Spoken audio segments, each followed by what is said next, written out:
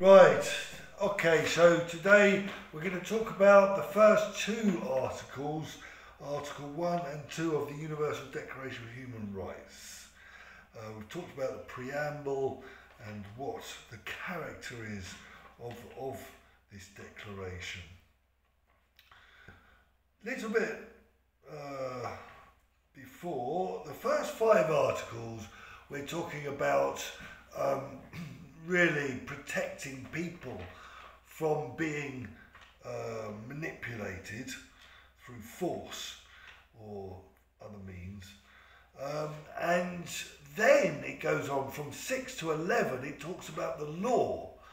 Uh, and, it, and it tries to establish that the law mustn't be manipulated. Got to remember, tyrants may not say they want to uh, stifle protest and criticism. They may say, we accept it, you're free to criticise. And then after you've criticised, they may manipulate the law so you don't get a fair trial or maybe you don't even know why you're charged or um, you know not even you're not you just disappear etc etc so the law must be protected um, and, and it must be established that that law is, is correct and, and able to protect uh, these rights.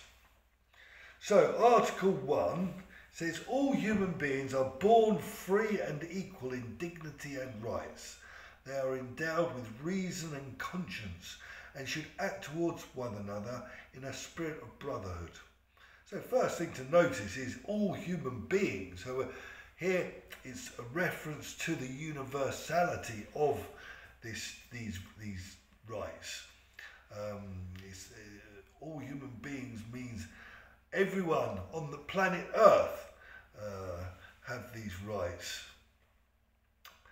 And then it, it does mention dignity before it even mentions rights. Remember, dignity means worth and value, and these rights are what protect that worth and that value.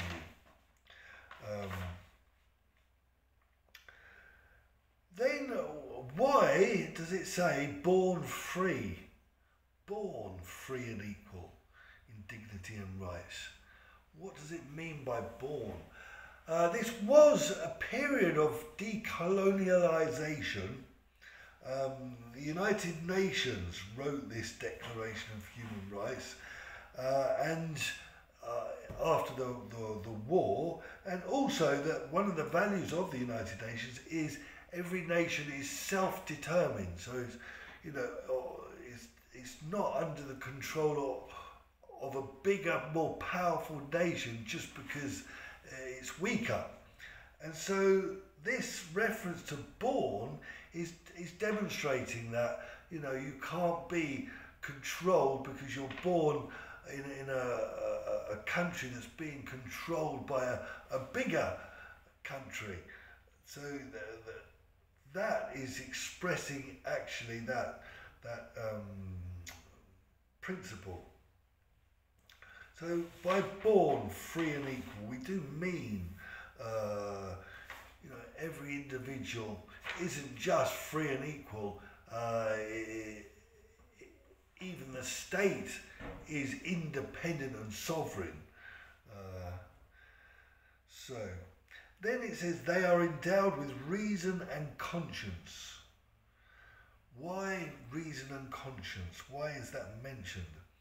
Got to remember in the Second World War, the SS officers um, often said after the war, ah, I was just following orders. So they were trying to say they're not responsible. But we know that once you have reason and conscience, you are, you are free uh, to do as you want um, in terms of morality. So you, you are responsible for what your actions are morally, morally. Um, so, you know, um, Erich Fromm talked about this freedom and the fact that uh, once you're free, uh, being free means you can choose. You've got different options and you can choose. And when, when we actually leave that animal world, uh, we, we are not controlled by instinct, but we are controlled, or should be, by our um, reason, by reasoning things through and having a conscience, knowing what's right and wrong. Uh, so that process of evolution, you know, pre uh, feudal system, we can imagine um, people just acted uh, in in their roles in in very robotic ways and traditional ways. But as we became individuals, um, as we became freer from that uh, that life uh,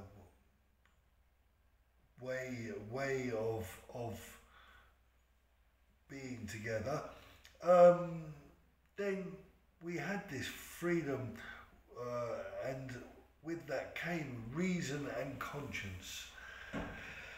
And so, uh, should act towards one another in a spirit of brotherhood. So it, it, it talks about a spirit of brotherhood, so there should be solidarity um, between us. Remember, these rights are individual rights, rights to be able to uh, express our personalities. Now, you do need uh, uh, an act of solidarity because it's not just about the individual, is it? It's about the other respecting my dignity and rights uh, and allowing me to express myself, uh, have uh, the life I want, um, marry who I want, get the job I want, etc., etc. So um, we do, we live in a community and it's, we're not just individuals. We also must uh, think of others.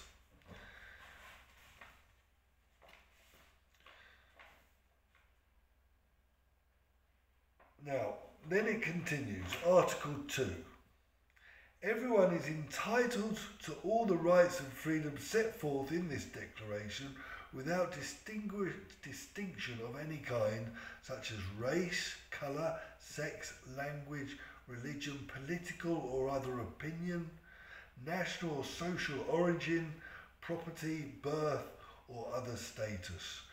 Furthermore, no distinction shall be made on the basis of the political, jurisdictional, or international status of the country or territory to which a person belongs, whether it be independent, trust, or non self governing, or under any other limitation of sovereignty.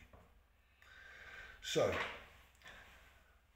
why does it? So this this is about discrimination. This is about not discriminating, and, and we must ask ourselves first of all, why does it set out these character, categories like sex, race, colour, religion, political opinion, etc. It, it sets out those categories because those are the normal categories uh, with which we discriminate. If, if somebody maybe is from the left or somebody's uh, Muslim, normally we can put them into a certain uh, context. We judge them, we prejudge them because we don't know them. Uh, we imagine what we think Muslims are, and we think they are the same. So we're that's prejudice. We're prejudging them. We've got to get to know them as individuals, not uh, judge them on the basis of their religion or any other category. So that that is uh, quite clear. We can't discriminate. Um, now, why? Why not? why not discriminate? Well, obviously because it's not fair. It's not fair on the on on the person who's being discriminated against, um, also on the basis that that person we're discriminating against is